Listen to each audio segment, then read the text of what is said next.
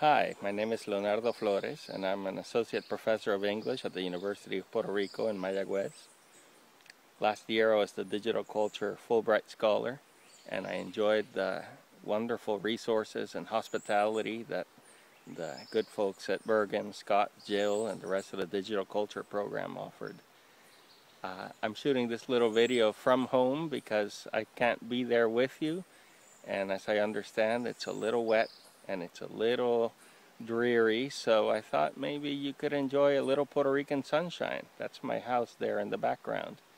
So without further ado I'll be presenting the analysis I have done through visualizations of I Love E-Poetry using ELMCIP knowledge base data. I know it's a long title. Just read it up there. Uh, Scott you owe me for that title. Here we go So what is I Love E-Poetry? This is a resource I created through a scholarly blogging performance. And the idea was I set it up as a constraint to read and critically reflect upon a work of e-poetry every day, that includes nights and weekends, leading me to revisit works that I knew, discover new ones, and just really expand my knowledge of this emergent poetic genre. I started back in December 19, 2011, and did not miss a day for 500 days, completing that first phase of the project on May 2nd, 2013. Now, in addition to being just a, almost an exercise for myself, uh, it was also uh, designed for others, obviously. It's a quick reference for those to those unfamiliar with e-poetry it provides these concise entries that provide poetic, technological, theoretical, literary contexts. Uh, I offer brief, close readings of the poems and give readers a, little, a few strategies to approach the work.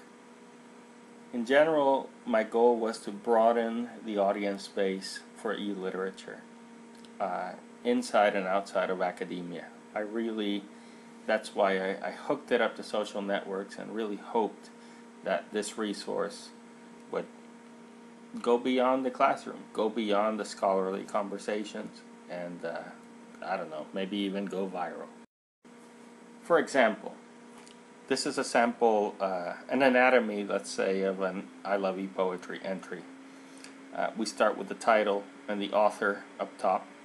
Uh, I provide a link to the actual work a screenshot so people have a, an initial taste of what it is this work is about. And I start with a, a, a description. Uh, and that description is kind of coded with some of my metadata, which I'll describe later. As you read the entry, uh, you can see that I expand to talk about some of the contexts, uh, whether they're media, technological, or cultural contexts.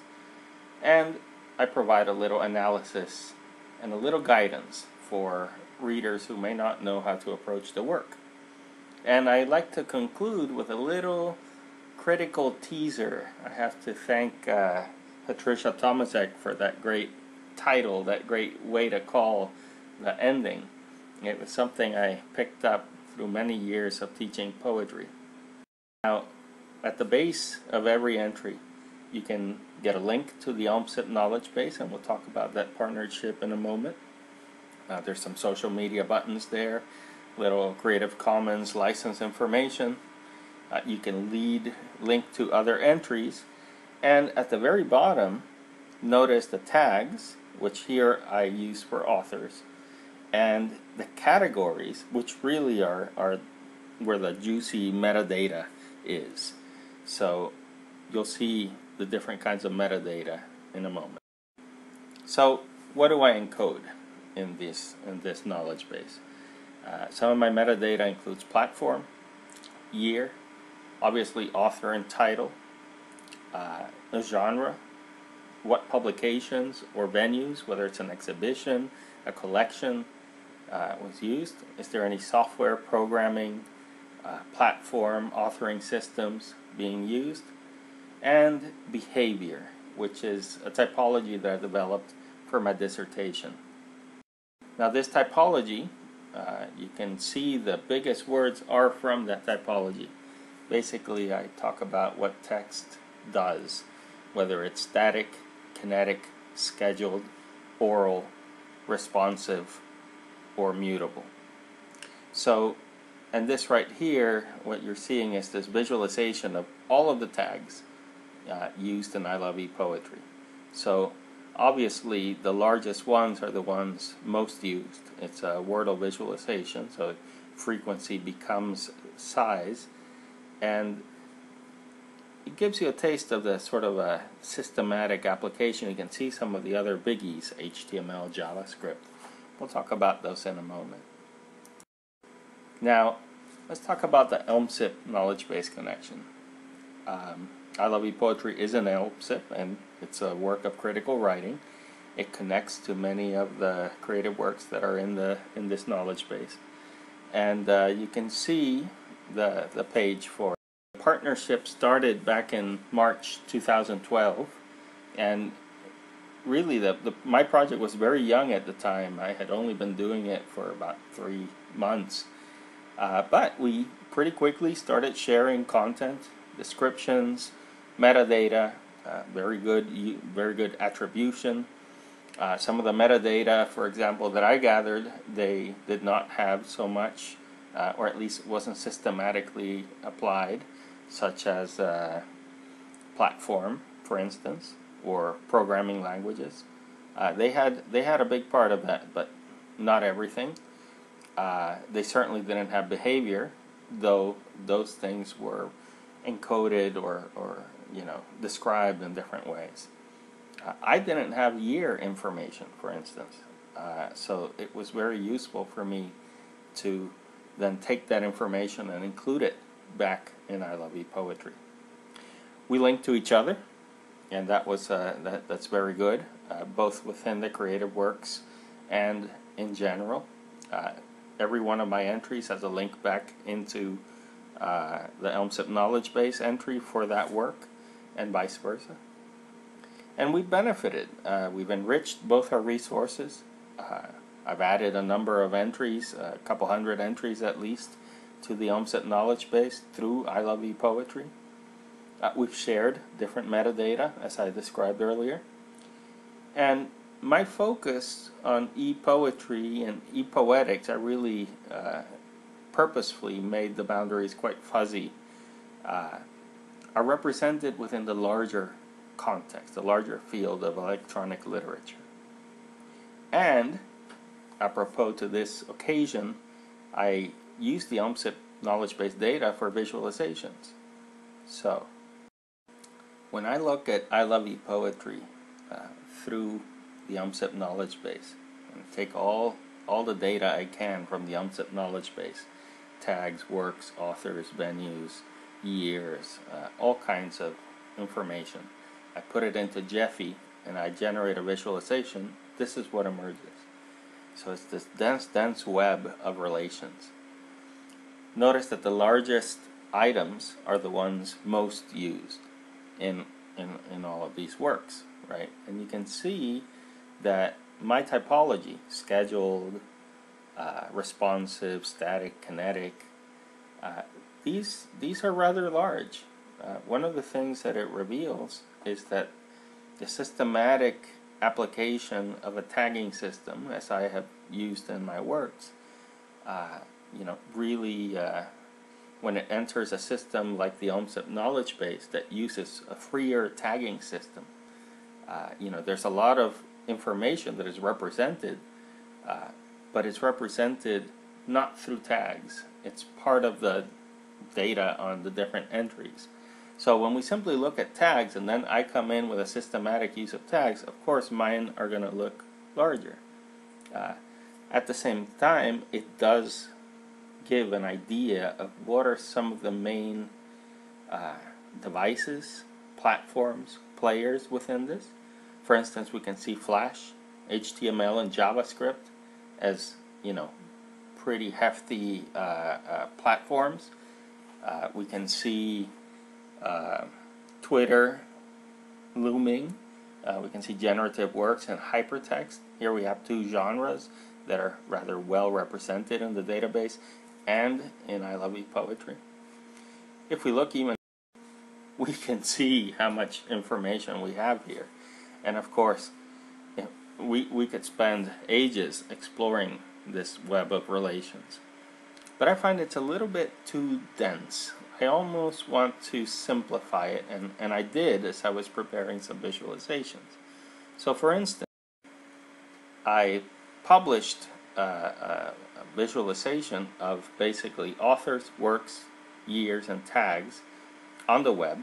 I took this, you know, a big part of this, and I presented it on the web so that people can then select the different nodes that look large and see what's in there. You can zoom in. Notice that the, the names do not appear unless you mouse over them. That's a little problem with how I designed this particular export. Uh, this was done with Gephi. Uh, and but you can see, for instance, Jhave's work and how it connects not just to his works, but also to some of the some of the different um, tags that were used. You can look at the year, for instance, and explore all the works done in 2009 and some of the people that were involved there. Uh, you can then, from there, keep exploring other aspects. However, I prefer even simpler visualization. So for instance here, I, I took the tags out, authors, works, and years. And I made these uh, quite directional so you can really kind of see, uh, for example, 1998, it's only going to give you, uh, works. You can select uh, different works, uh, see everything Jim Andrews made, go from there, from the year you can then move on to something else and you have if you zoom in you actually do get some of the information you need in there. So you can explore it a little better. Young-Hae Chang Heavy Industries you can see I've done nine works of theirs. So this really helps you explore a little bit. This is on the web and people can explore it and get a sense of what's going on. Now this is this is not an interactive one but at a glance I like the information. It's simply all the works in I Love ePoetry and the year. And notice that representing, uh, you know, size equals number of connections. 2012 is a big year. Uh, 2011 as well. Uh, you can see the years where I have most representation of works. Uh, in part because there's more ELIT in part because there's more ELIT available, in part because it's just the, the, the publications that I chose to read and explore, you know, lay primarily on those years. And I've made a point in I Love poetry to try to explore old and new works. So I've taken um, publications like Cauldron and Net that ran from 1999 through 2003, I think, and uh, and really read all of the e-poetry I could find in there and, and moved on. So, but anyways, this gives you a good sense of the coverage that I Love E Poetry is offering. Now when we pull back from I Love E Poetry and look at something larger that I Love E Poetry fits within, like say the ELMCIP knowledge base, using uh, visualizations can really reveal uh, the, the impact I Love E Poetry has had.